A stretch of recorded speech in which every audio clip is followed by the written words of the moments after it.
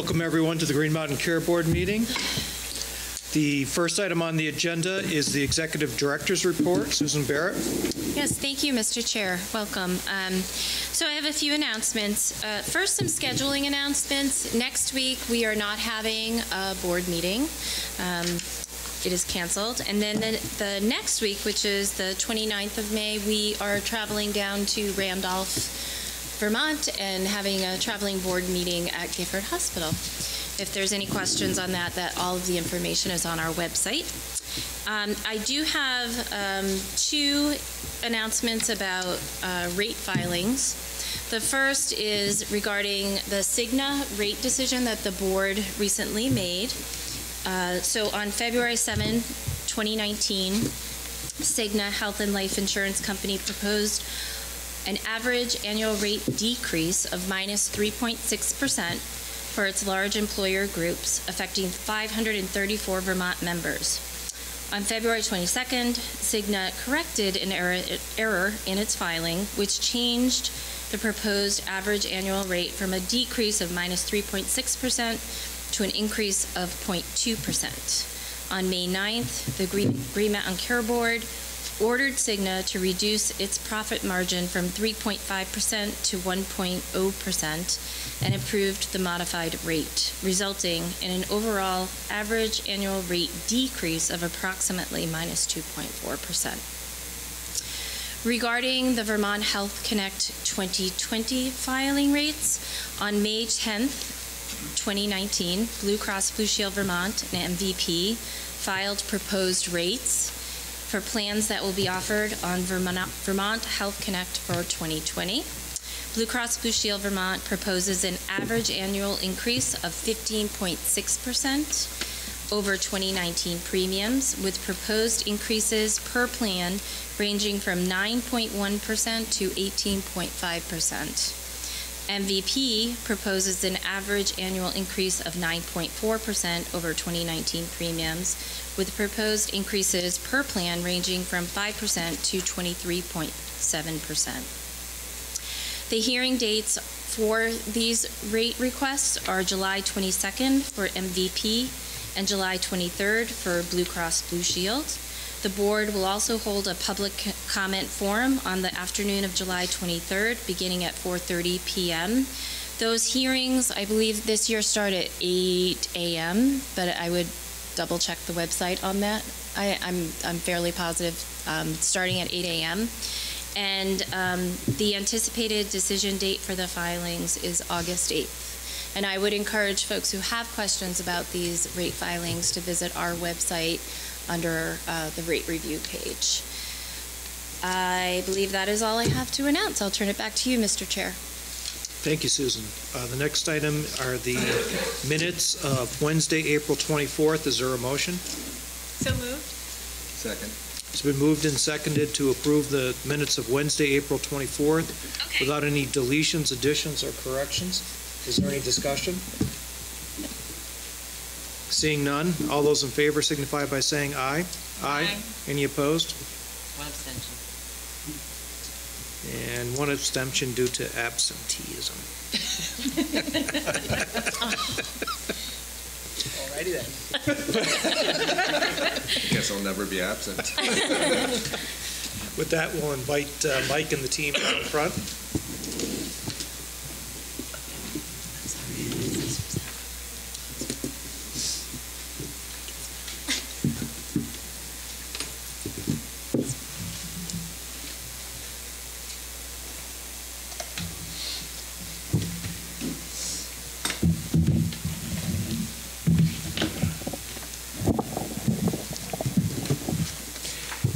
Thank you, Mr. Chair. Um, My name is uh, Mike Smith. I'm the president and CEO, uh, the interim president and CEO of VITL. Um, I'll let the rest of the team here introduce themselves, starting with Andrea. Hi, I'm Andrea Delabria, Director of Client Services. I'm Bob Chernow, uh, Chief Financial Officer for VITL. Hi, everyone. I'm Frank Harris, the Strategic Technology Advisor for VITL. And in the audience, and I'll just ask them to raise their hands, we have uh, Christopher Schenk, who's the Director of Technology, and Carolyn Stone, who's the Director of Operations. I brought the whole team here to get a sense of uh, the process uh, for the Green Mountain Care Board, especially in the budget process as we move forward. I just wanted to do a short intro before we unleash Bob on the numbers, uh, and um, he can go from, from there. Uh, One of the things that, if you've heard me lately in the legislature, um, that, um, that I have said as I've been testifying is what a difference a year makes. I mean, um, in FY19, we established a strategic plan and revised our mission statement. We updated our bylaws. We strengthened board membership criteria. We added new board members, including Dartmouth as a, a board member. We developed new ways to make it easier for providers to access and view the VHI information.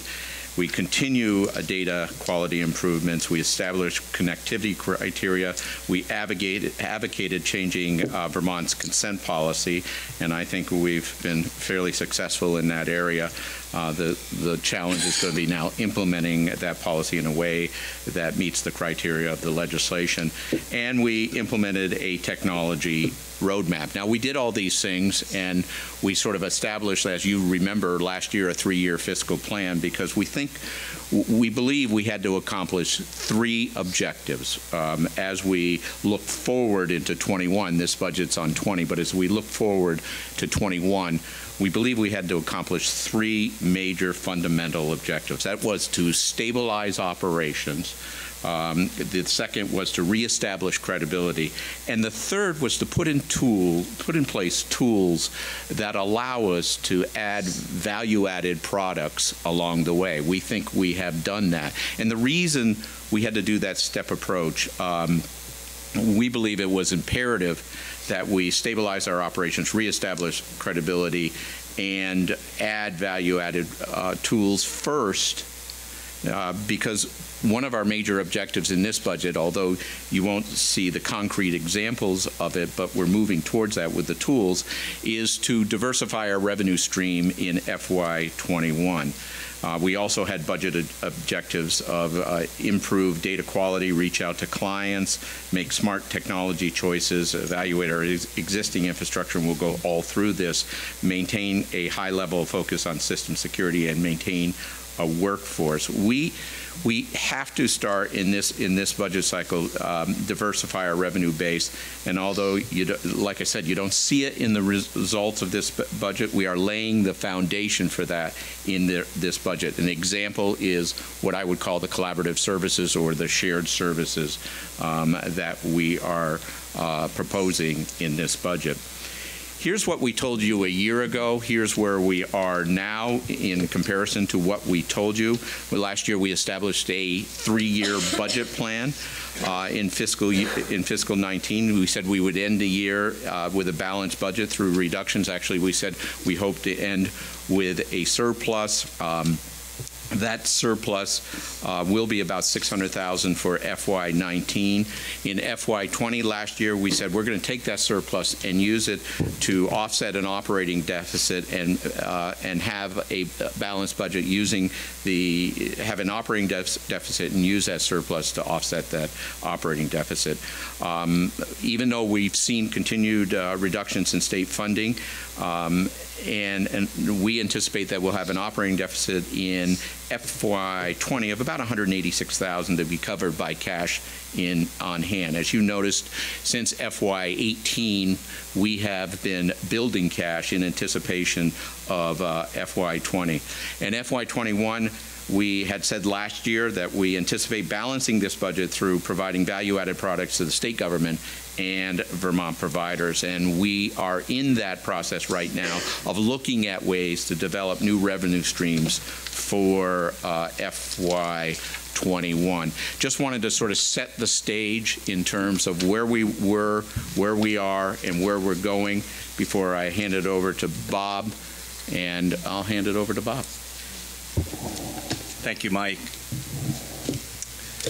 I'd like to go through some charts that are relevant to our FY20 budget request. But before I start, I'd really like to thank Agatha Kessler and Sarah Kinsler from the Green Mountain Care Board uh, for their help and guidance in getting us to this point.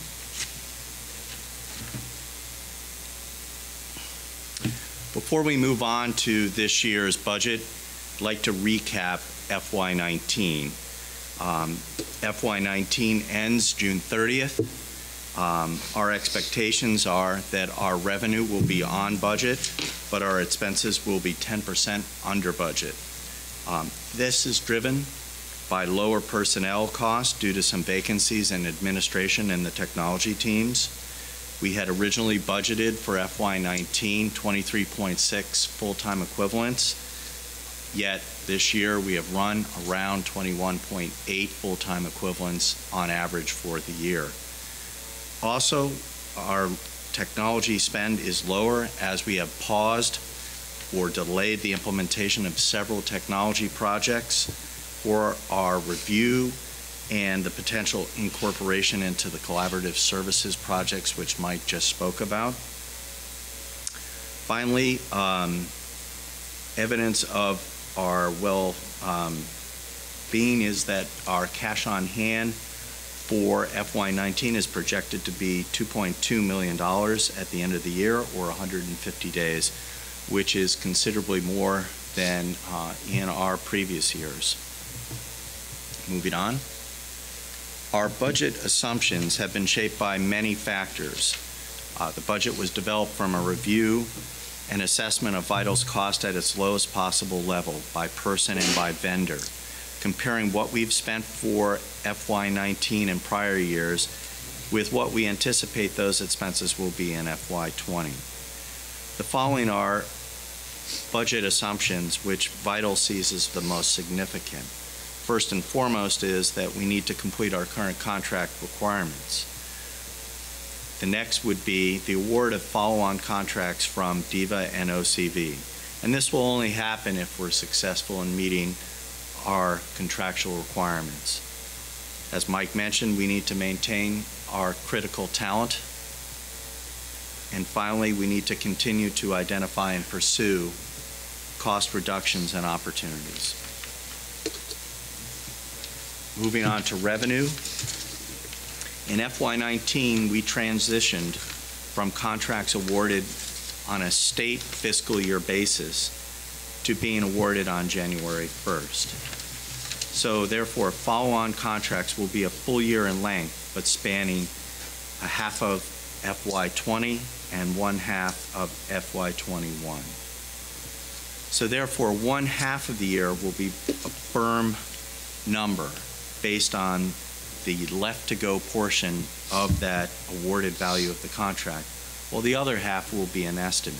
And as I will describe um, this in a future uh, slide, um, management believes that management is confident that we will be able to, to make these um, projections. Finally, we've shown FY21 to illustrate our anticipation that the revenue for the state in FY21 will be stable. This chart shows the decline in state funding since FY21. These values are contract values. Since FY17, there's been an overall reduction in Vitals funding of about $1.3 million, or 22 percent. And as vital state funding has declined, we have ta- taken cost out of the business to uh, remain sustainable. I just, I just want to point out um, an observation here.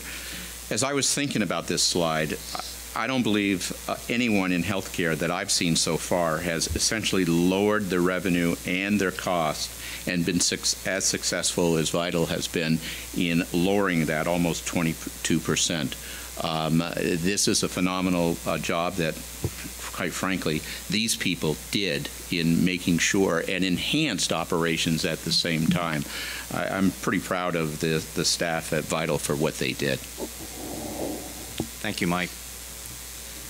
Focusing on FY20 revenue, um, the CY19 DIVA contract is shown in green, and it is based on, on the left-to-go portion of the awarded contract. So this is our CY19 contract from July through December 2019. The other half of this is a projection for CY20 for January 2020 through June 2020. Again, VITL believes um, that it will be successful in a final contract with DIVA that is at least equal to this estimate. One takeaway from this chart is that over half of our revenue is based on firm awarded contracts.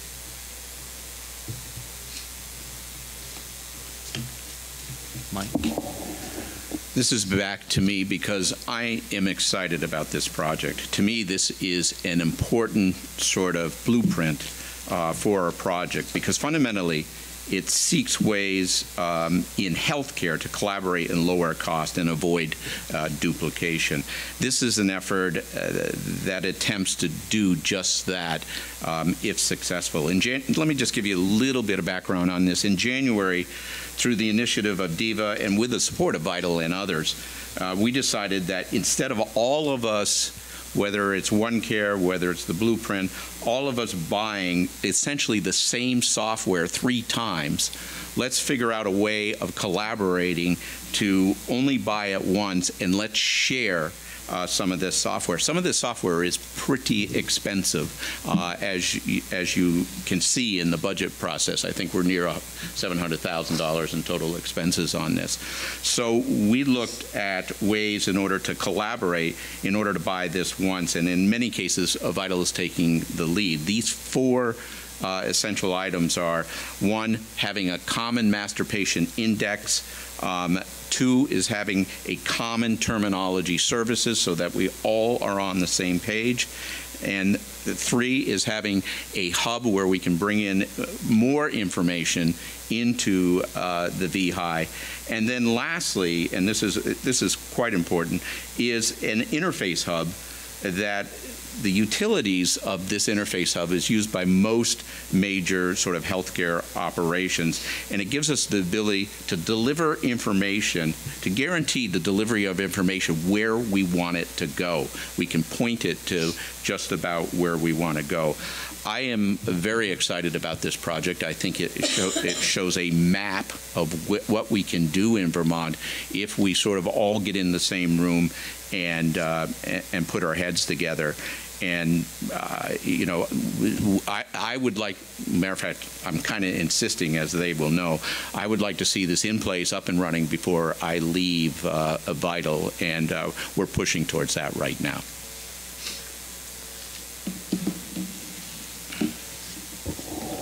Thanks, Mike. Moving on to expenses, labor costs for VITL are our largest expense item. And this year, um, our budget assumes 22.6 full-time equivalents.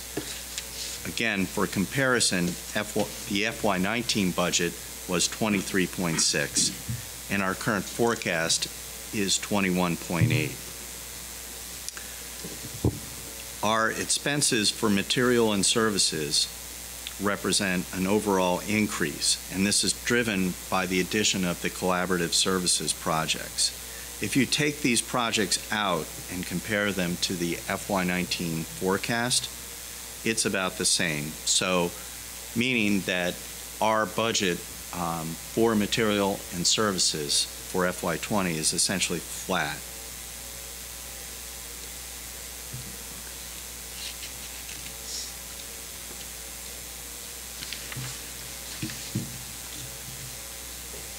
Focusing more on expenses, Again, labor is our largest expense at 2.9 million or 47% of our total spend.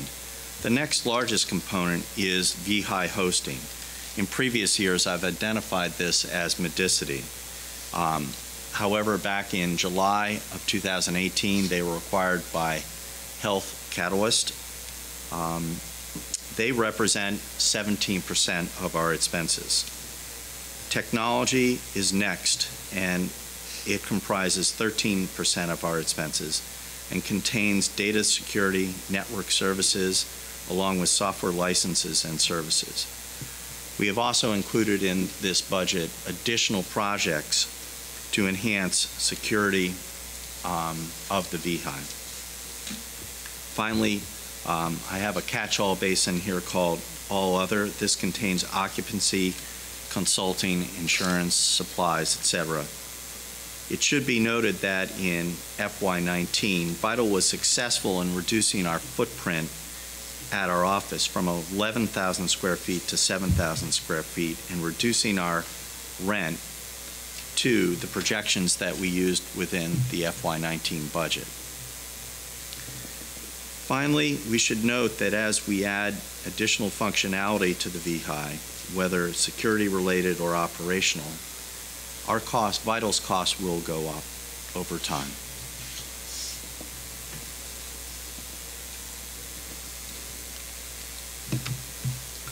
Since FY17, VITL's organization has been flattened to streamline reporting, promote coordination between employees, and reduce cost. For example, directors now report directly to the CEO instead of other executive positions.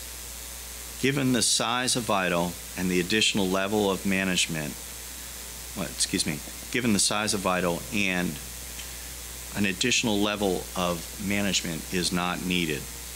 We have also changed some personnel responsibility to focus more on business processes and organizational efficiencies. So while VITL is a lean organization, one deep in some skills, we are still capable of meeting our contractual requirements.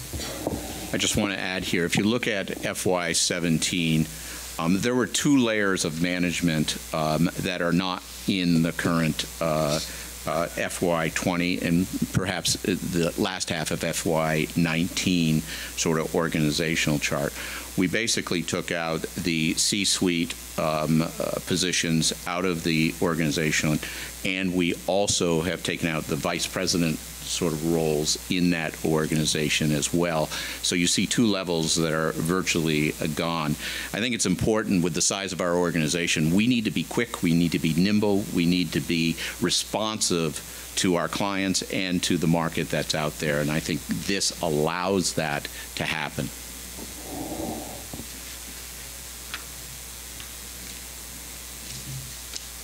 So in terms of headcount, um, this year, um, we have not included, a, as Mike has pointed out, the other COO position, um, which would have been in our FY19 budget. In addition, while we do have some open positions to bring us up to our forecasted full-time equivalent uh, projection for FY19, this budget does not include any new positions.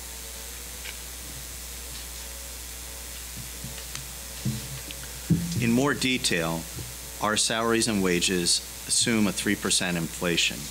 In addition, there is no bonus program, um, and we have also assumed that um, we will have the same benefits providers as we currently have. We have incorporated for inflation for those benefits a 6% inflation. Now, we have seen that the, there is a potential for about a 9.4% increase to health insurance, but that only adds about four to five thousand dollars worth of cost to our budget. Um, all other benefits, we have assumed a 3% increase.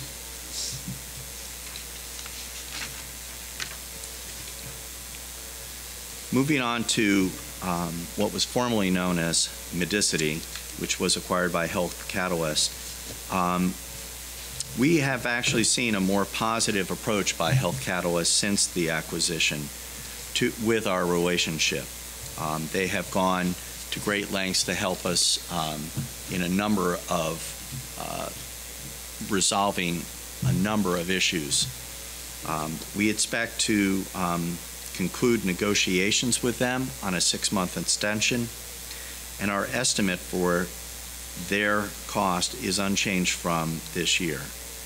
Their charges, for the most part, except for the interface connectivity charges, which are more of a um, project-oriented charge, are very um, stable. They are monthly periodic charges.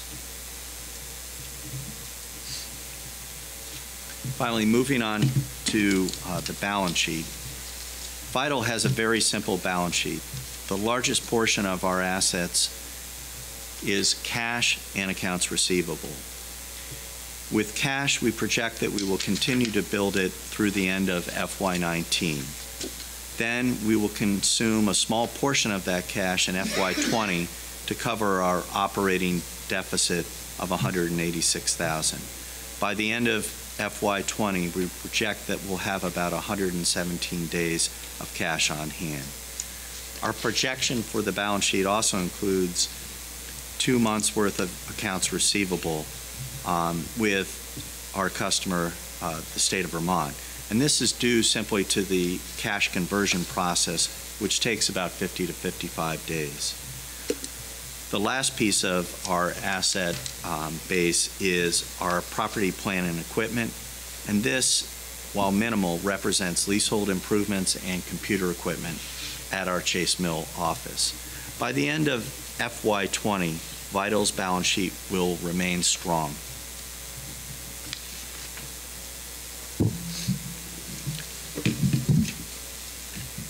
Concluding, VITL has minimal liabilities. We have accounts payable represented by the blue band above. We have, um, in some years, we have had a um, liability to the state involving the resolution of the FY17 grant final billing, which was extinguished uh, last year. And finally, we have accrued expenses, which are in the orange band. Um, If you take those um, and you calculate a quick or an acid test ratio, you come up for FY20 with about eight times, which um, is a very healthy measure of how liquid and how um, strong financially VITL has become over the years. So concluding my uh, presentations, I'll take any questions if there are. If, if it's okay with the board, I'd like to, because the technology section falls, uh, Mr. Chair, the technology achievements and plans falls directly into the budget aspect. Would you mind if we just kept going, or do Go you want? Okay.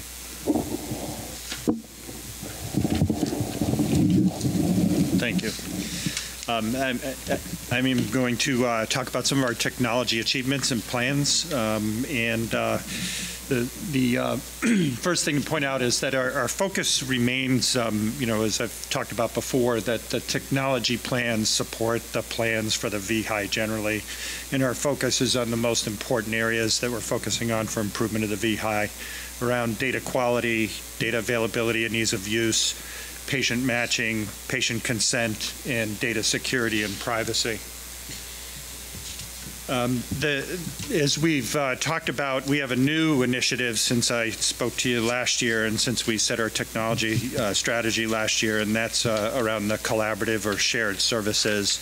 And uh, even though it's a new initiative since last year, it really is targeted directly at the priorities that we envisioned last year, which is around improved patient matching, improved terminology services, and improved interfacing capabilities, as Mike and Bob have spoken about.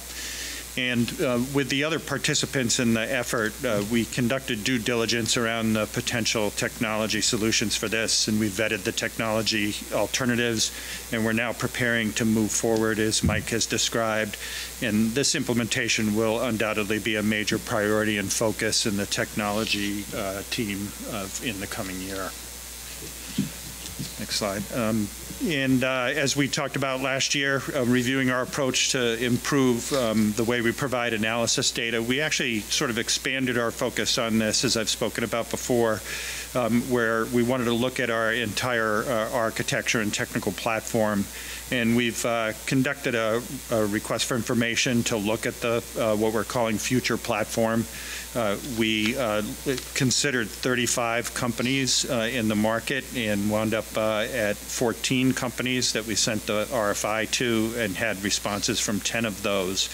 We temporarily slowed that to focus on the shared services initiative, um, but we are uh, picking back up on that now and conducting the analysis of our RFI responses to determine the feasibility of changing platforms. And in this first phase, we're really trying to look at the feasibility. What would it cost? What would the opportunity cost be?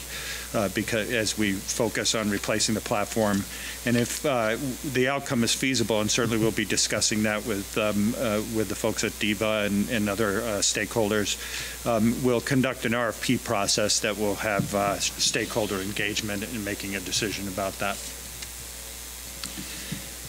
Uh, We're going to continue to advance our infrastructure approach, and as I've spoken about before, I see this as um, minimizing the overhead costs. Um, And first thing is that uh, you- to create a project plan to establish HDM, uh, the the data warehouse side of our architecture, uh, disaster recovery capability for that, and we collaborated with the folks at DVHA and uh, the Agency of Digital Services on the plan. Uh, And we're beginning the first phase of that, which is known as uh, business impact analysis. And what that does is it inventories all the, the business processes that we need to support to operate the VHI and the system, and it ties out the systems that support them and basically establishes the criticality of those and the disaster recovery requirements. And once we go beyond that phase, we start to make some investments in the technology to support the disaster recovery. So we're looking to have an outcome on the future platform to see if we're going to continue with this platform before we make that investment.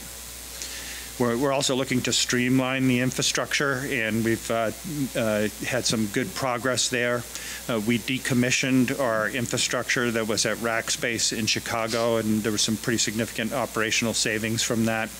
We established uh, support resource partnerships so that we can uh, better manage the infrastructure and also uh, to position us to be able to better advance the infrastructure. Uh, So we have a flexible resource that we can call upon and more depth on the bench, so to speak. And then with the shared services initiative, we'll start to move away from the owned infrastructure, as I've spoken about before, and we'll be moving Rhapsody out of our owned infrastructure. In the area of data quality, there's been some, uh, I think, very significant achievements. Um, As, as the board knows, um, we established a new connectivity criteria, and I know the board approved that criteria. Uh, We're working with healthcare organizations now to evaluate their status against the criteria and to establish work plans for advancement through the criteria tiers. We also completed a project around uh, terminology services to standardize the top eight lab tests uh, that we receive in the data across 30 healthcare organizations as the data is, is, the data is received.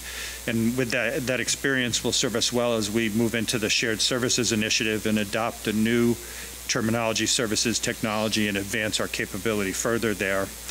And we've drafted a data governance model for the shared services effort, uh, and uh, there'll be a lot of data governance questions that will come up as that proceeds.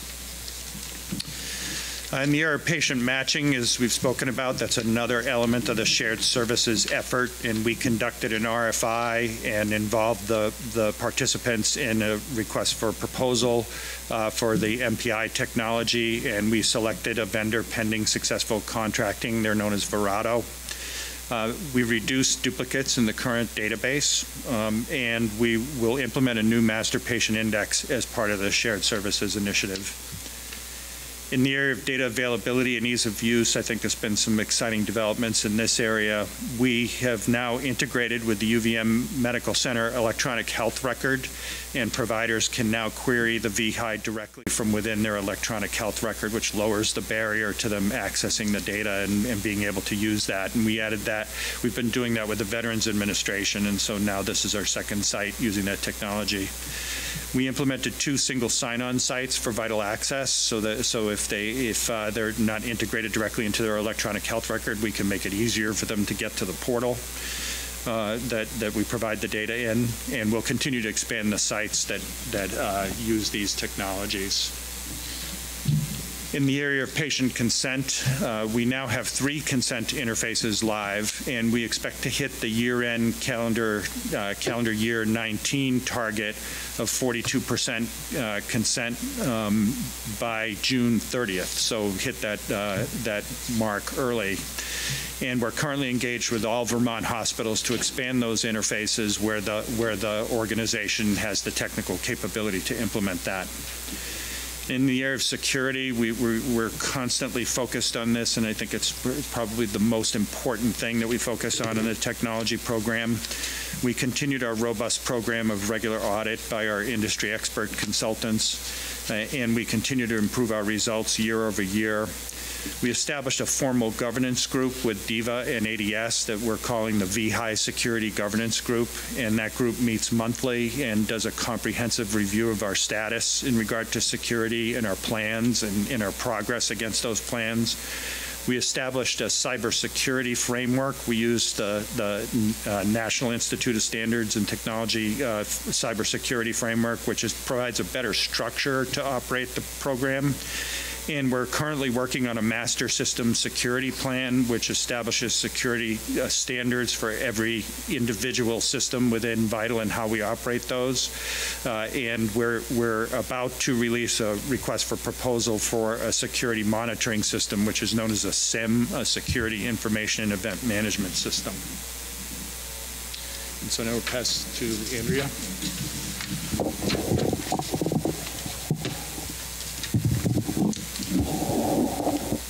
Thank you. Wanted to provide some updates for you, and many of these Frank touched on already.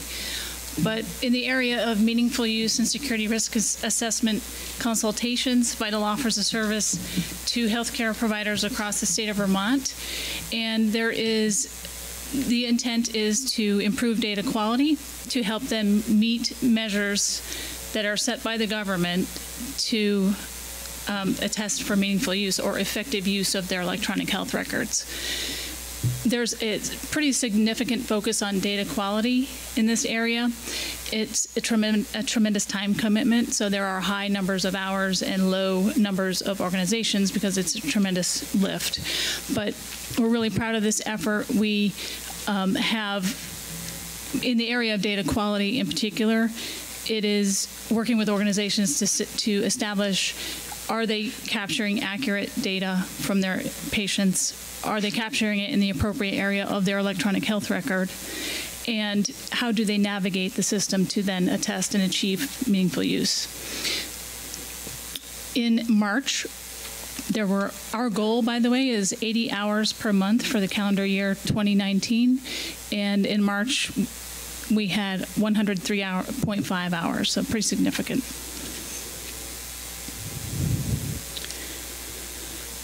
the percent of Vermont patients providing consent. This is an area Frank also touched on. The red line is the target, which is 42% for calendar year 2019. We are currently, for the patients that have been asked, 40.86% of them have provided consent. We are on target to hit that 42% rate in June, by end of June.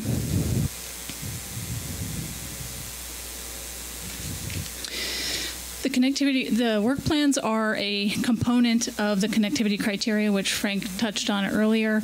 These are in progress. Our target for the year is 89, and the again, it's the goal is to help organizations achieve the next tier. So it's are they capturing accurate information? Are they missing data elements? And if so, how can we make sure they're in the messages and then are the, transmitted to the VHI. If a healthcare organization is contributing electronically to the VHI, they are considered meeting tier one at this time, and we're still evaluating tier two and eventually tier three. So, point of care utilization, put another way, this is our providers, do providers need information? And are they accessing the VHI to help make their healthcare decisions for their patients? And we continue to try to make this easier for healthcare organizations to implement, and we feel like we are making significant progress in this area.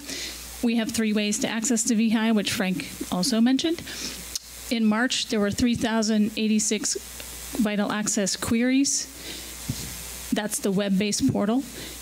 Cross-community access, which is currently Veterans Affairs Administration and newly implemented University of Vermont Medical Center, were 236 queries in March. And single sign-on we have implemented at Northeastern Vermont Regional Hospital and the Vermont Chronic Care Initiative, and those were 193 queries. Another area where we provide uh, another value-added service for for healthcare providers to receive the information they need is called provider results delivery. If um, I'd like to give you an example, in because sometimes is a bit confusing to people, but if I use myself as an example, I have I love cheese. So at some point in time, I may be in a position where I need to go find out if that cheese is affecting my cholesterol level. So I may go to Central Vermont Medical Center, for example, and have a lab test done. That lab test would then be delivered, and this is this is a real example um, of the communication we have with these organizations.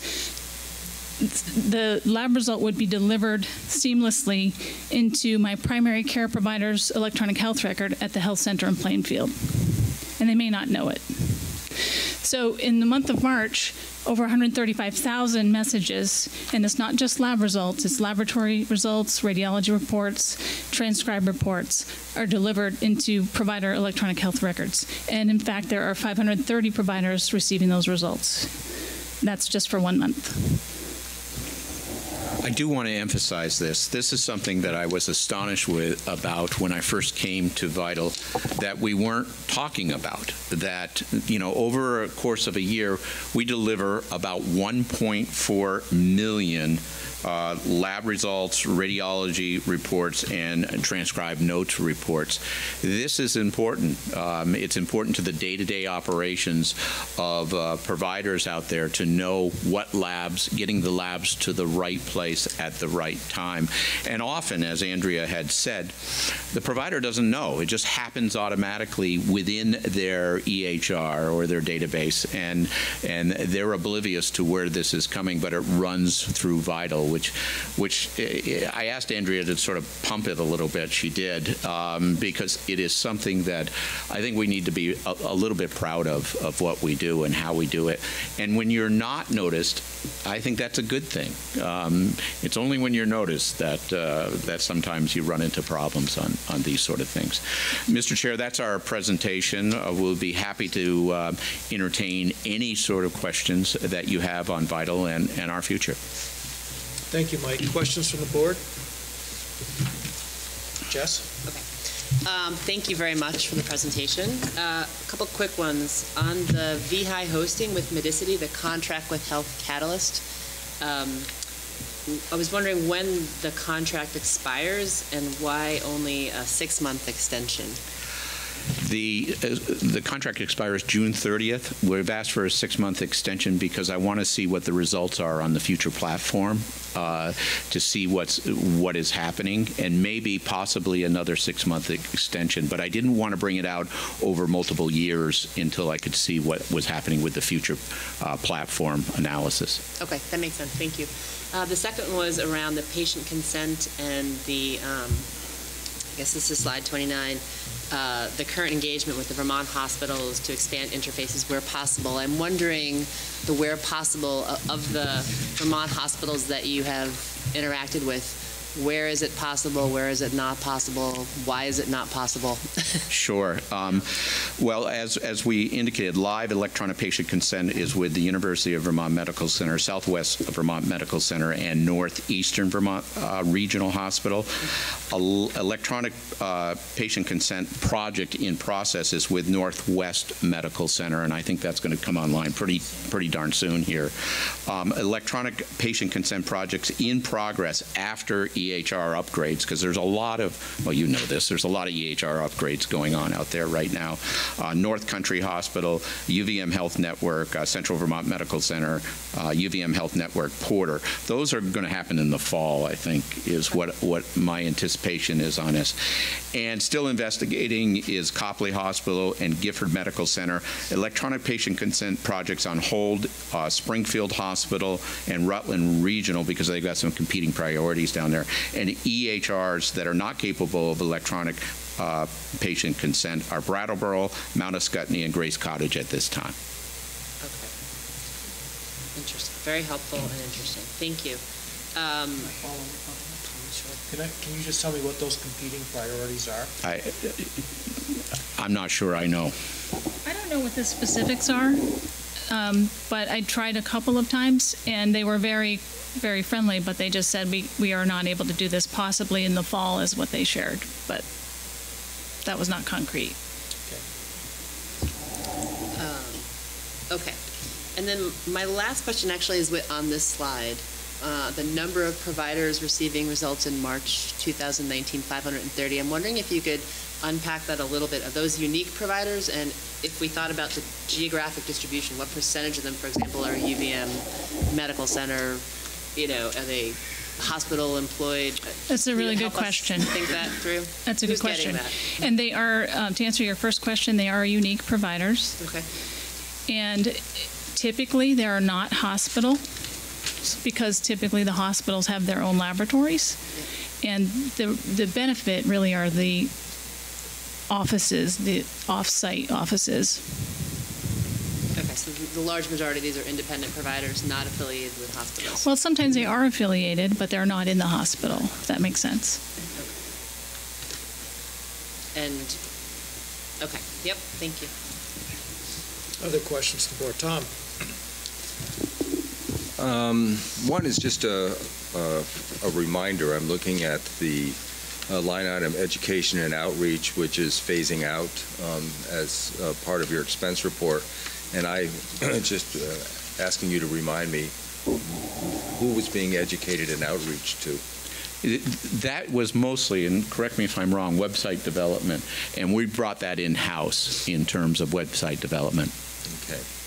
Um, And going to the chart on uh, page 32, um, this, uh, your, your target for uh, consent is 42% for 2019. Um, Do you have targets for 20 and 21, and, or what assumptions have you made in this budget presentation having to do with uh, uh, any changes in the consent policy? What we have done in this budget is assume at the time, there's, I'm confident there's probably going to be a change in consent policy, but what, what is, um, well, I'm not, I'm hopeful that there'll be change in consent policy. What we have done and assumed in this budget is a current consent policy. As it moves to an opt-out, there's obviously in legislation right now a fairly consider, uh, considerable implementation phase in terms of how you do that. Um, That was not factored in this budget. We would probably, DVHA is taking the lead, but we obviously are in partners with DVHA on that. We'll have to sort of uh, flesh that out of how that works, but it's not in this budget right now. So there might be some going down the road if the consent policy has changed some upside opportunities uh, in terms of leveraging uh, past investments. Yes, and, and by the way, um, from a technological point of view, this is not a heavy lift for us. Um, From a, from a implementation view, uh, view and the ability to make sure that we, we invite people and we listen to concerns as we're implementing and come up with an implementation policy that takes those concerns into, uh, into place. That's going to take a little time. And one more, um, looking at the, uh, the 40, uh, 42% calculation, what, what is the denominator of that ratio? Um, I think it's five. In terms of uh, Vermont patients, what, what is, what is the number? I think it's 570. It's a 574,000 and change are the number of patients that we have data on in the VHI. So that's a So- little less than the total population in the state, obviously, I but see. that's the den- denominator we used because we So the felt it was more The accurate. numerator then is 174,000? Um, th- That counts. And the no, yeah. denominator would be the, po- the, the population of the state. Just, uh, there's five, we, we use 574 on the bottom. I think we use 200 and something on, on the top. Um, I'll get those numbers for you. We, you know, even if you use the Vermont population of 610, I mean, it's, it's minimal, the change in those, in those two numbers. And that counts opt-ins and opt-outs. So it's everyone who's been asked. So it's a little more than 200,000. Robin, do you have anything? Uh, I just have one question. Um, In terms of your fiscal year 20 budget assumptions, do you have any worries about any of these cons- assumptions in terms of the likelihood that they'll bear fruit? Well, we're hoping uh, that all of them bear, bear fruit. Um, We are, you know, we're under the assumptions, we made the budget on, on the assumption of what we put up on the screen here. Um, We're hoping all of them bear fruit. With any budget, you sort of adjust through, through the year if something um, happens or changes. I think, um, you know, normally we come back about half year because of our, our revenue cycle and, uh, and discuss any changes with the board. I expect perhaps we'll do that again uh, as we move forward. Thank you.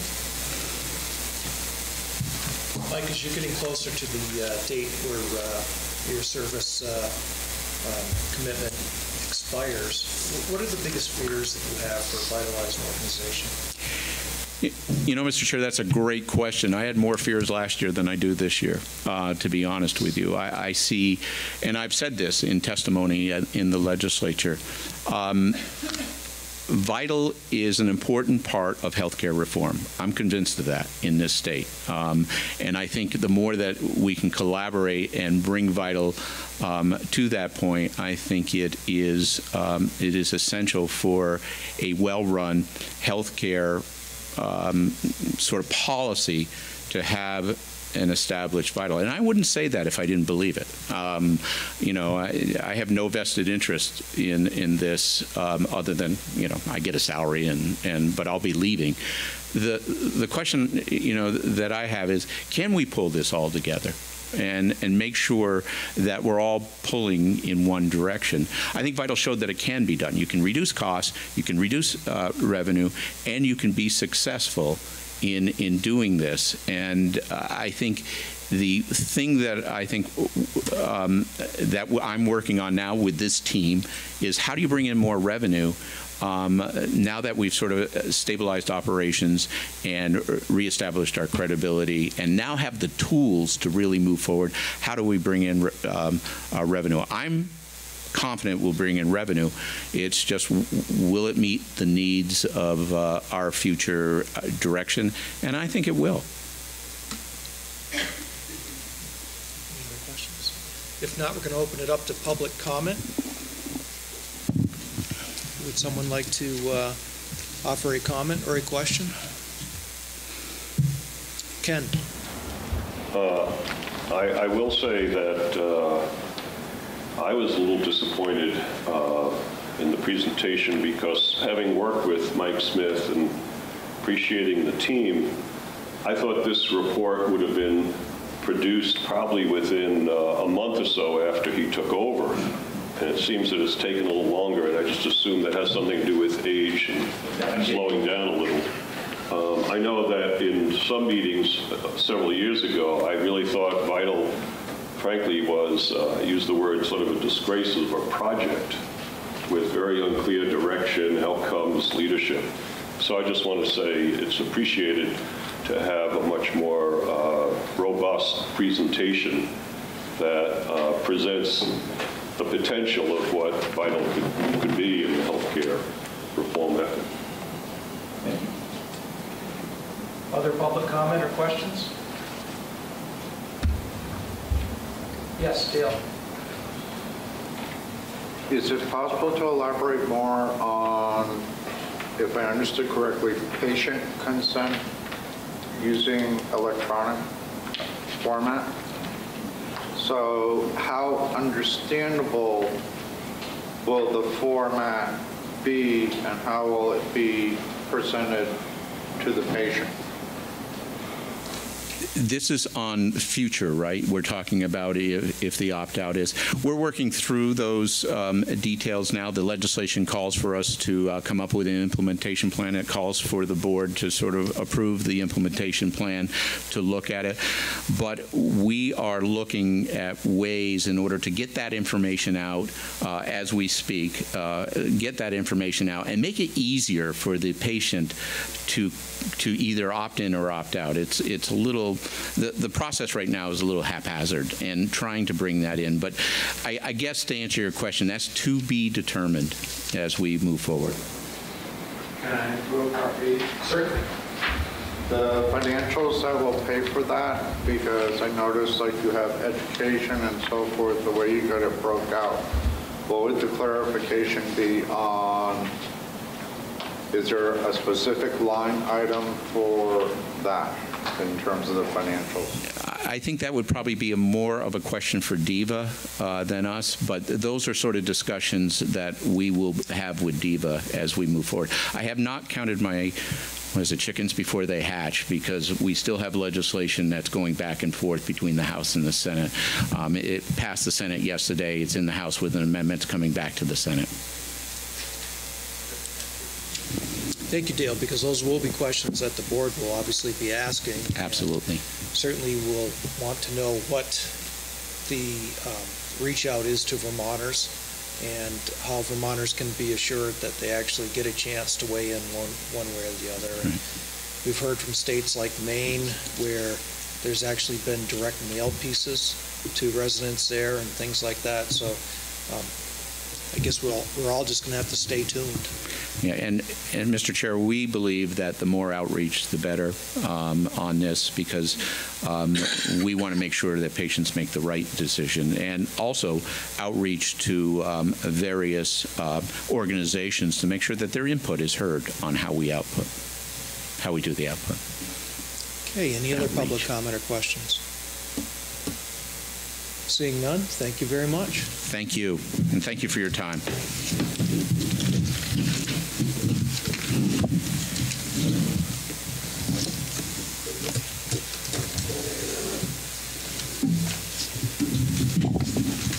So at this time, we'll invite Jenny and uh, Emily down.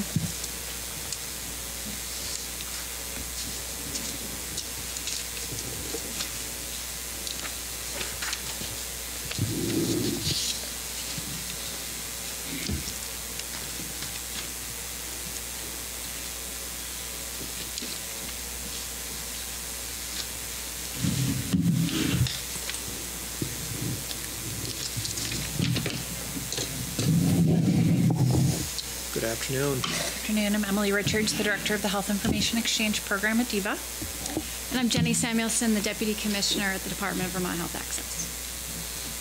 So here's the overview of what we're hoping to discuss today.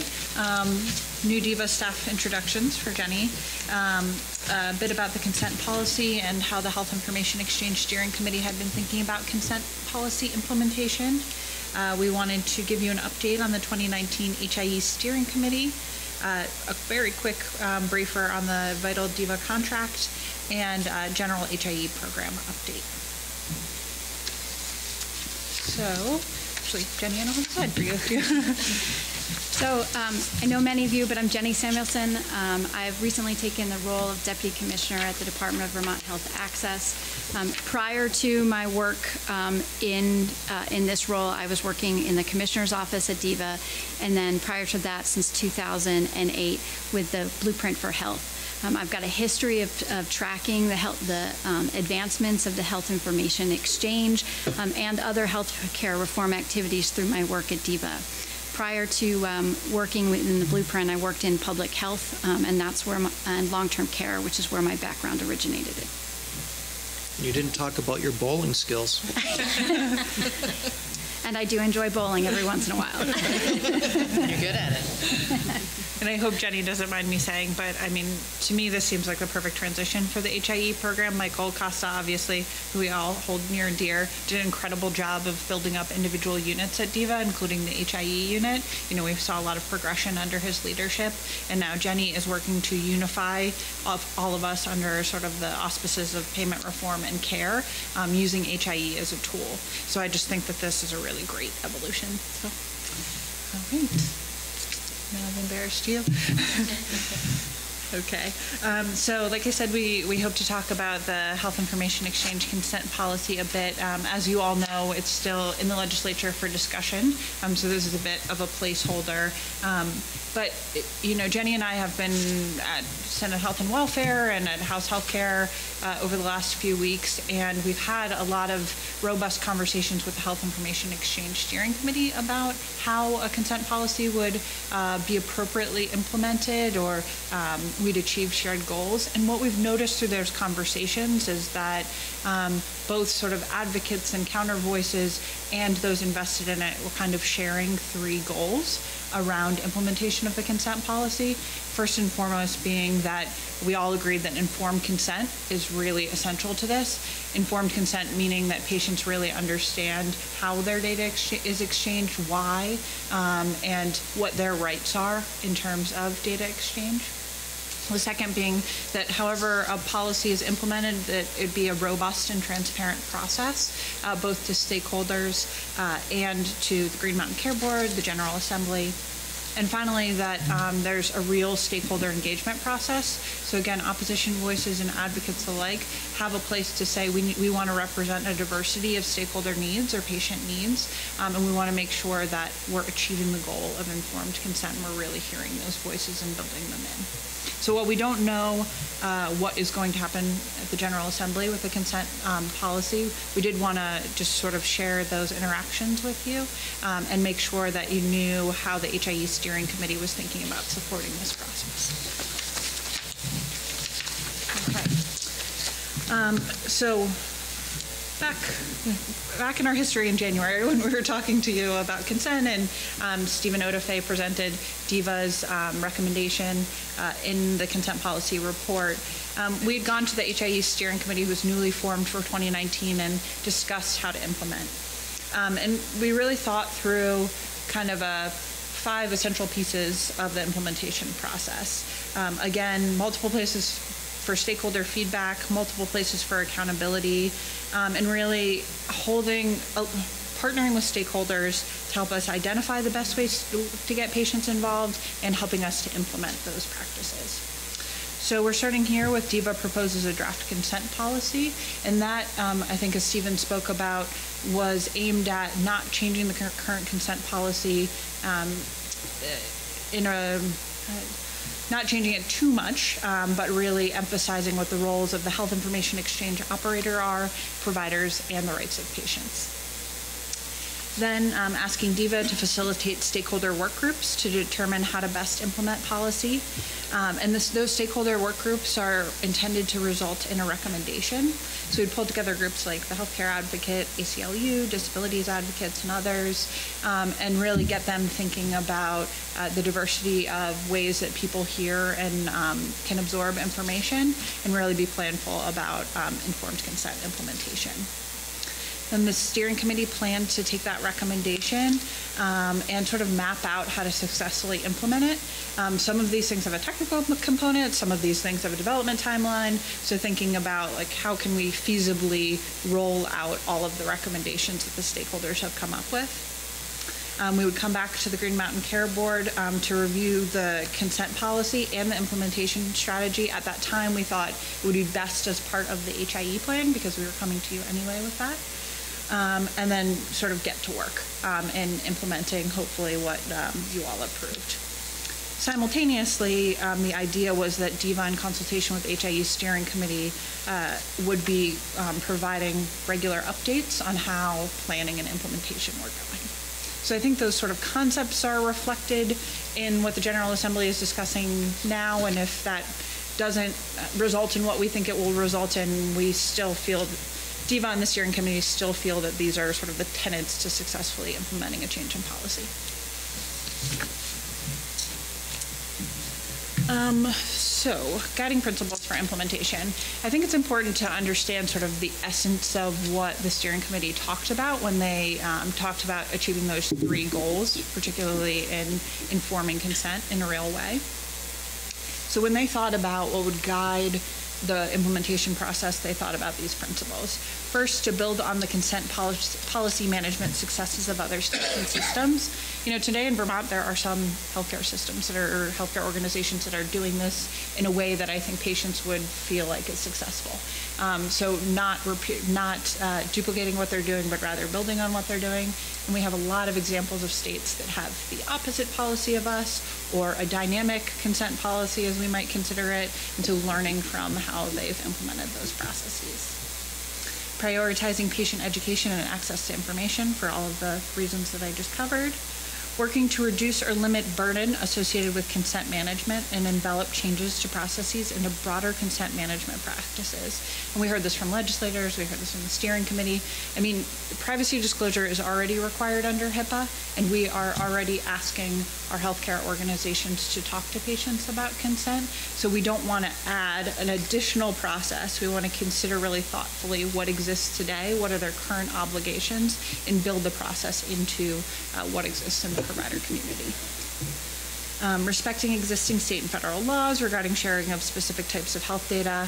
And this is a nod towards there are some clinically sensitive data types that will not be covered by this policy, so making sure that patients really understand what is and is not exchangeable and how um, honoring consent preferences that have already been expressed by Vermont patients. This was really big to the steering committee because we don't want to go back out and ask people. We want to make sure that if somebody has expressed a consent preference already, or 40% of Vermonters have, that they don't need to be re-asked, but the opportunity to change their preference is available.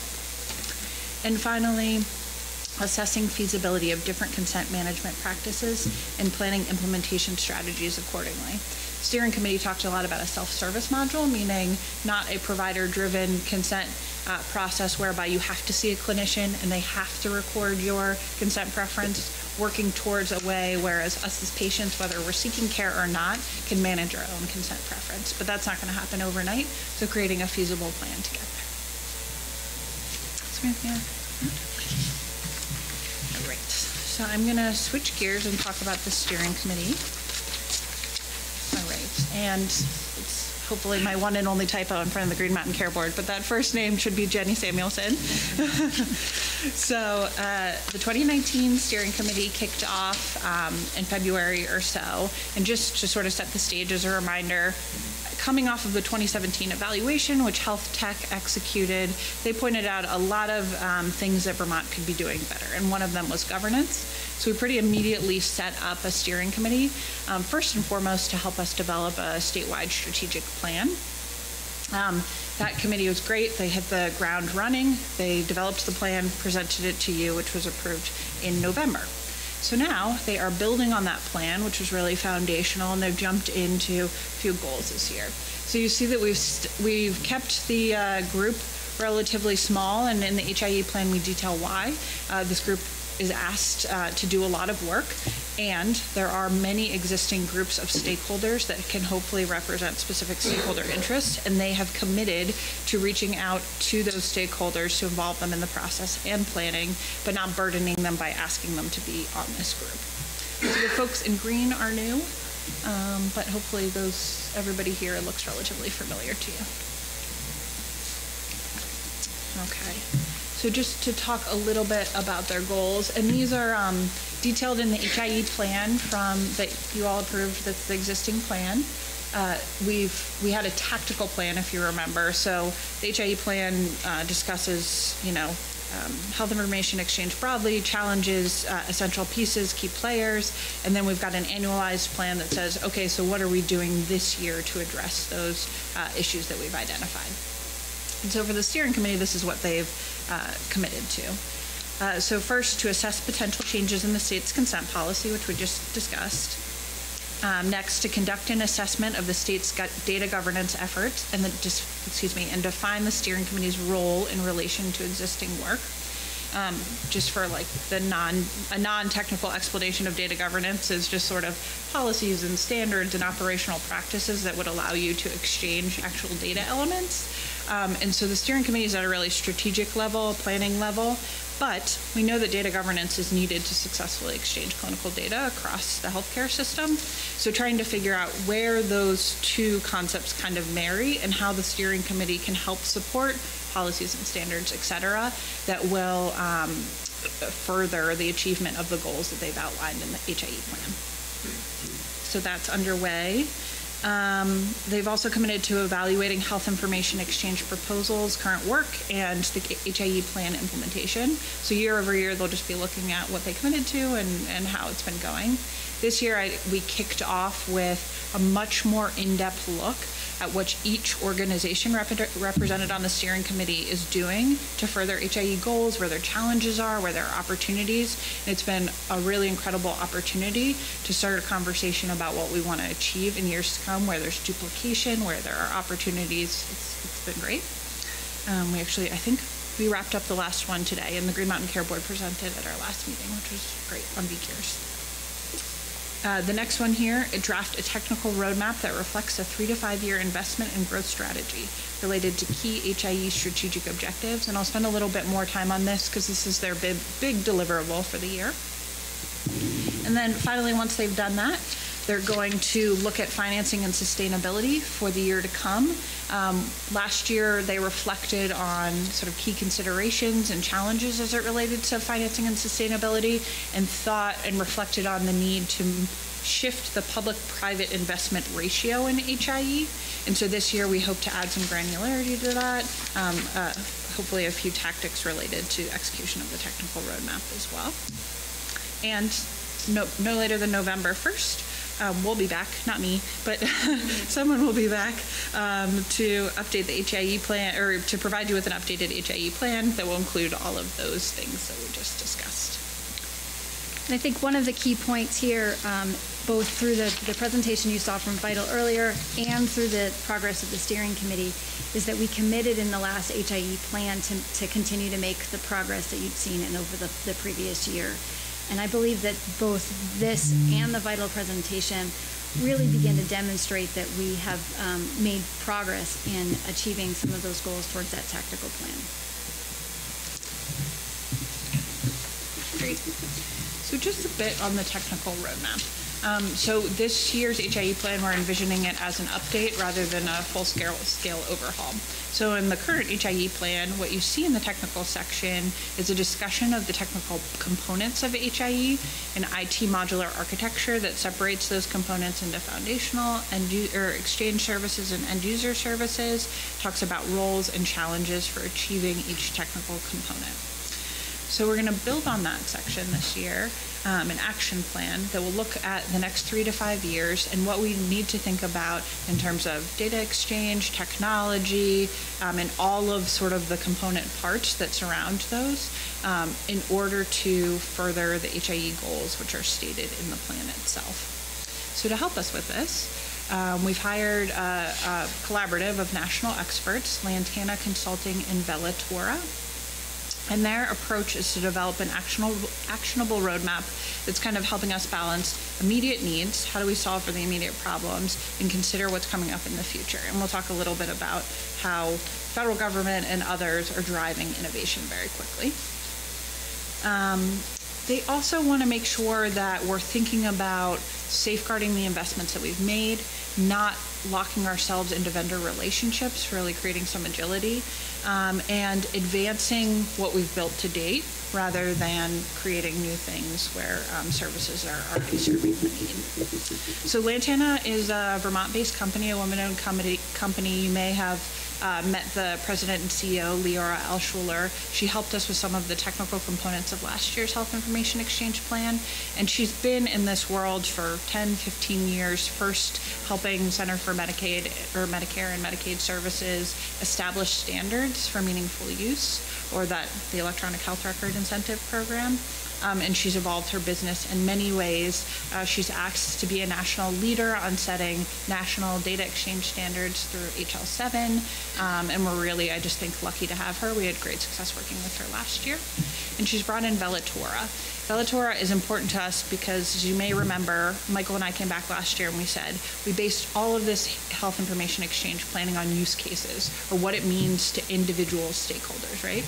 But Velatura is really like where that use case concept was kind of birthed as it relates to health information exchange. They have something called the Michigan Health Information Network, which is kind of uh, this ancillary governance body that's coming up with policies and standards that influence the HIE operator, but not or not the HIE operator themselves. And they're an offshoot of the learnings at the Michigan Health Information Network. So we're going to build on their ideas of what they call the use case factory. Um, they test interoperability possibilities in a technological framework, um, and they just have had a lot of success when it comes to bringing different groups together. So I think those two groups together will really will benefit the state of Vermont. And we're kind of running with this model of, you know, we're a small state, we don't have a ton of national experts, so bringing be, using the steering committee to think really thoughtfully about what our strategy is for the year to come, and then bringing in expertise to help us achieve our goals on an annual basis. So I'm just gonna, I'm gonna shift gears to the DVHA VITL contract, but I want to make this one quick because VITL did such a great job of talking about all of their component parts. But there's a couple of things that I wanted to leave you with here. Um, first, like we're, we're noticing that VITL is meeting or superseding all of their goals for this year, which is great. And all of those goals are in alignment with the Health Information Exchange Plan, which this governance body, the steering committee set forth. So that alignment is really incredible, I think. And so this thing that you're seeing on the top right of the screen, that's the IT modular architecture. Sorry, that's a, such a boring phrase, but that's the thing that we put in the HIE plan to sort of guide how we're thinking about who invests in what in health information exchange and the fact that you need to build the foundation of the house before you're building the roof. And so we've separated uh, the component parts of VITL's contract to align with that IT modular infrastructure, and they've set goal. We've all set goals um, towards furthering each of those component parts, which I think is great. And I loved the question about what are their goals for next year. Um, and we are actually, if you can believe it, already thinking about their contract for next year. The way the federal funding process works is we need to go to the feds in July and say this is what we're thinking for six months for now from now, can you help us um, by providing some federal participation? Um, and so we've been partnering with VITL uh, to both build on this work and to take adv advantage of some more expansive opportunities. Um, they're thinking a lot about what has been successful in other states, for example, connections with uh, the HIE and EMS services. A lot of uh, California, for instance, has had great success in rolling that out, so how can we take advantage and build on um, what they've done? And CMS really likes that project, so that's an area where we can get federal support uh, to sort of build an avenue of exchange. So um, over the next few months, we'll be setting those goals and going out for the federal funding request. The final contract will be drafted in the November timeframe, just because we have to send it back to CMS to review, um, and our plan is to execute on January 1st. All right, missing anything back? No? Okay. So shifting gears once more, an HIE program update. I think for the last couple of times we've been here, I just wanted to make sure that um, sort of some things that are happening at the national level are on your radar and kind of the big picture things that are impacting the program are um, just, you know, in your realm of thinking as you consider what the steering committee is doing and our relationship with VITL. So first, and I, this is duplicative, I've, I've, mentioned this before, but I think it's important. Um, Vermont and other states across the nation have taken advantage of federal funding under the HITECH Act, first to digitize health records. So this is where the boom in electronic health records happened through meaningful use under Medicare and Medicaid. We still operate the Medicaid meaningful use program and will through 2021. It's actually a very successful per capita program here in Vermont. I think we're ranked number three. So a lot of providers have taken advantage of it. So CMS first thought, great, we need to digitize health records, and then they thought there's a funding opportunity here. Let's drive towards interoperability, or actually making these systems talk to one another and data exchangeable across the healthcare system. So they've continually expanded funding opportunities under that act over the last few years. It's important to note that this funding opportunity expires in late 2021. We've really maximized a lot of great opportunities through the HITECH Act, and what CMS has said is we've noticed that nationwide. So we're going to hopefully make this, this opportunity continually available under the Medicaid Management Information System. And that's just the sort of how the technology we use to operate Medicaid um, and folks do nationwide. So we're in a transitional period. We're still learning a lot about exactly what those mean that means, um, but that could have a potential impact on the types of projects we can fund, um, particularly as they um, go further and further away from actually Medicaid direct care. Next up here is that the Office of the National Coordinator and CMS have proposed a couple of rules. Um, they're complicated and there is a lot to them, so I'm just really oversimplifying this here.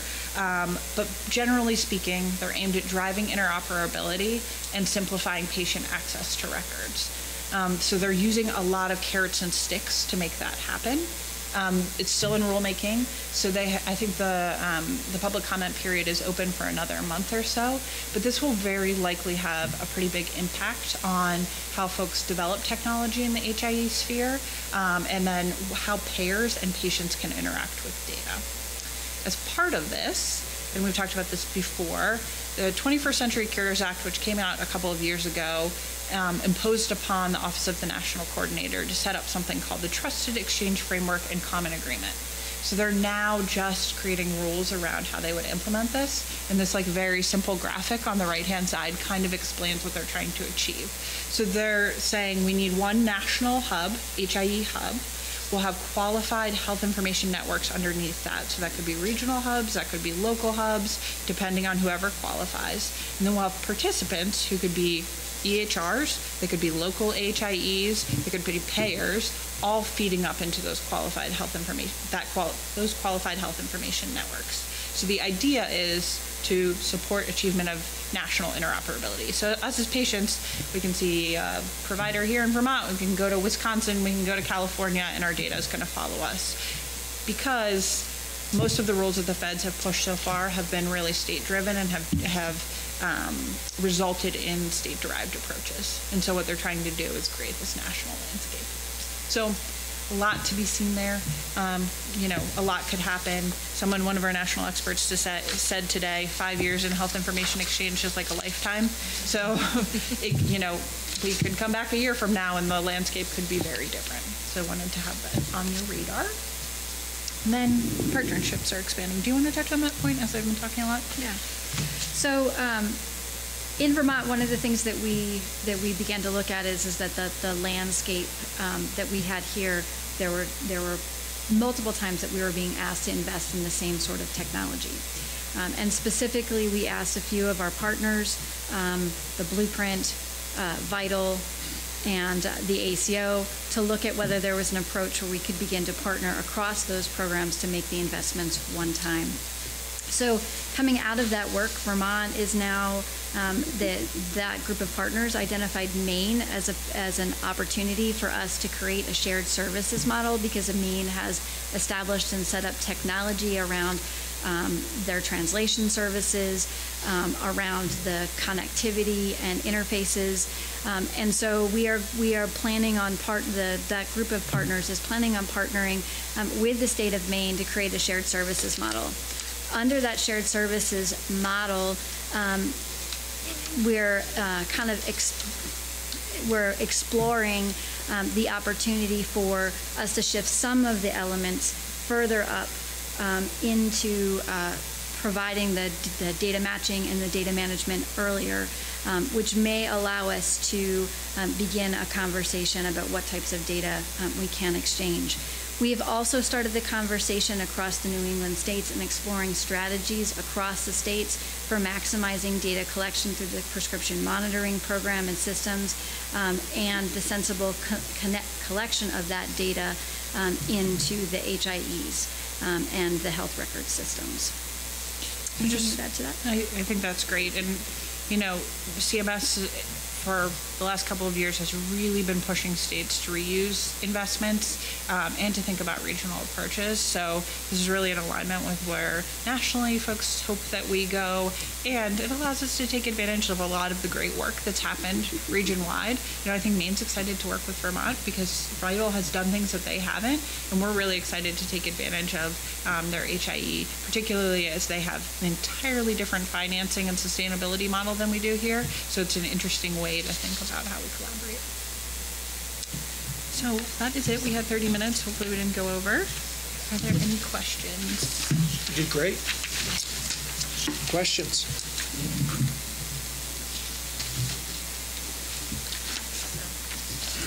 That's how thorough you were. Can I make an announcement that I Well, to do make have to open earlier? to the public. Okay, I just, it's about public comment for the VITL. Okay, go So I ahead. just want to make sure Okay. um, folks know that um, open, or public comment is uh, um, starting today on the VITL budget. It is posted on our website under public comment and under what's new. And again, it's opening today. It will run until Monday, June 3rd at 12 PM. And the materials are linked to that uh, public comment period. Thank you. Any public comments on the uh, presentation? Any comments or questions? Dale? So I'm looking at the HIE steering committee, and I can't help but notice, I'm trying to be careful how I word this, because there's definitely two sides to this theme.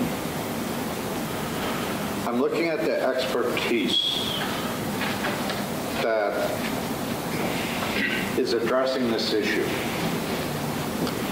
Now, it is an issue that needs a lot of expertise to design a system that's going to work. I can't go to the regular consumer to get that. I, I need something like a think tank. It, it's really complicated what some of these issues are, even in terms of consent. At the same time, look at who is giving the input. And it's experts. And this is one of the things that bothers me a lot is it's not the carpenter that lives on James Street. It, it's not the average person that is actually going to be asked for to give consent. And I don't know how you work that disparity. I even experience it when I walk in. I have been around healthcare so much, I can get a better interaction in a doctor's office than I know some people can because I know the system. They might say, you asked a good question. And I'm thinking to myself, that was because I know the system. If I didn't do what I do, I probably couldn't have asked that question. So I'm just, I just, as a consumer, think we need to be really careful with this going forward. We need everything they've done, and you did excellent work. I'm not criticizing. You've done excellent work. But I am testing the waters of it.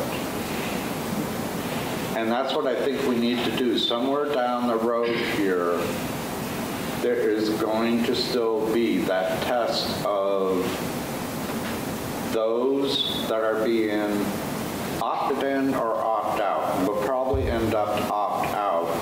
But there's going to have to be an understanding of the person that has been affected, which brings up the curiosity question of under opt-out, well, the only time that they look to consider the importance of their consent is when they have a problem. At which point it's a complaint to opt out. Those are some of the things you get into that I just can't help but wonder about. And maybe it sounds like I'm overthinking it, but I'm not sure that I am. Is Linda Liu meant to be the consumer member? She is, yes. And I don't know her at all, but would you call her the average consumer or? She's a very knowledgeable consumer. She did work at Blue Cross and she is an RN, so she has a great background. You know, it, the HIE steering committee is a big commitment. Um, and so it was not easy to find a consumer um, rep.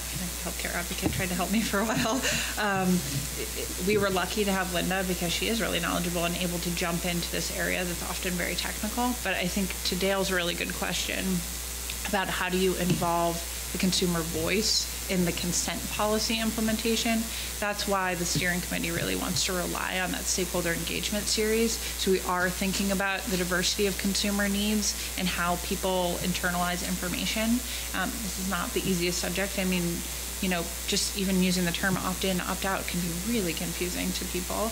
Um, so thinking about how we're using language and mechanisms and placement in a way that's going to be most meaningful to people. I think one of the other things that we, we talked about with the legislature, um, recognizing that folks receive information in different, in different ways, um, and from, and from different people in a variety of abilities to ingest that. We really, in this process, not only want to engage stakeholders in the process of informing how we're going to implement um, if there is a change of a consent policy, but also assist us in um, providing the information and beginning to look at where we do consent as not potentially only in a provider's office um, where you're talking about a traditional healthcare provider, but can we begin to look at um, our designated agencies um, and other um, places where people can um, receive the information in a way that may be more culturally appropriate um, for them. Um, and, and also to potentially receive it in multiple different locations. I think we have a lot of conversations about duplication. I think that the opt-in, opt-out conversation is a potentially complicated um, question for many individuals, and their circumstances change. So we want to give the opportunity for them to hear the information uh, more than once. Other public comments or questions? Eric? So my name is Eric Schultz, I'm with the Healthcare Advocate. Um, I'm heartened, cautiously heartened that, uh, I'm heartened that the discussion has moved away from VHI operational goals and a 42% to thinking about uh, the meaningful consent of patients. I, I have continued, I don't think the debate is truly about opt-in and opt-out. I think if you look at most of the literature on this, um, that is a general opinion, and the real issue is how can we do this in a way that Vermonters understand what they're doing? We're not, the goal is not just to increase participation at the expense of consumers. I think the devil is going to be in the details and the stakeholder engagement. Um, I think there's room for substantial improvement in how this plays out. I think these are concerns about engagement that legislators have expressed. Um, I would also like to build off of what Dale is saying, that there is no universal single person who represents consumers. Um, and I think the board has done a, in a different arena, has done a wonderful job of realizing that you have to go to where people are. And I think in the stakeholder, it's not going to be, in stakeholder engagement process, it's not going to be enough to have one representative. But that I hope that DVHA will make the investment to go out and meet Vermonters where they are so that they can hear their uh, input and um, you know that might be leveraging community partnerships. I know at least in the poverty world, uh, VLA has uh, Vermont Legal Aid has substantial amount of community uh, relationships with organizations, and I think we would uh, be more than happy to work with DVHA to set up uh, focus groups or town halls in the communities where Vermonters live. Thank you. Thank you, Eric. Other questions or comments from the public? Susan? Um, I was heartened to see um, the group of people that will be consulted was widened to include more than just the Office of the Healthcare Advocate. Well, I think they do a tremendous job. Um, They're just one body, and the ACLU, and I think I even saw disability advocates in the list, so that was a nice thing.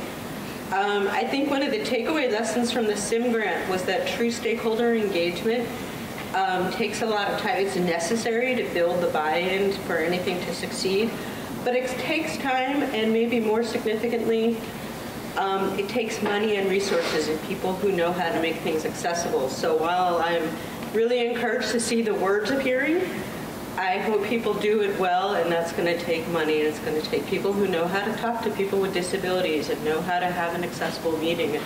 Giving people 50-page handouts, this is what's happening right now in the world of developmental disability payment reform.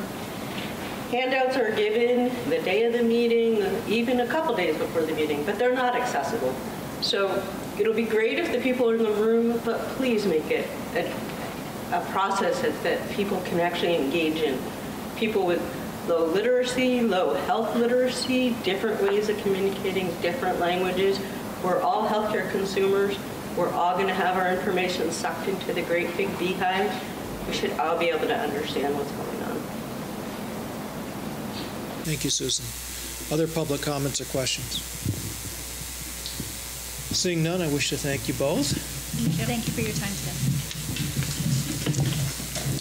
Is there any old business to come before the board? Seeing none, is there any new business to come before the board? Seeing none, is there a motion to adjourn? So moved. Second. All those in favor signify by saying aye. Aye. Aye. Any opposed? Thank you, everyone. Have a great rest of your day.